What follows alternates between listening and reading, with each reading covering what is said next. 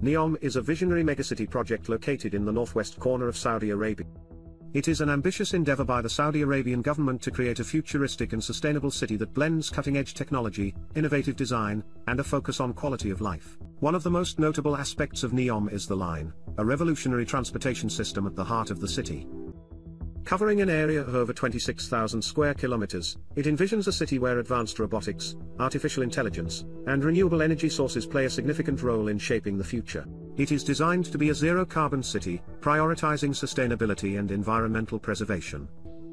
Additionally, the line will be dotted with parks, green spaces, and smart infrastructure, creating a harmonious blend of nature and technology.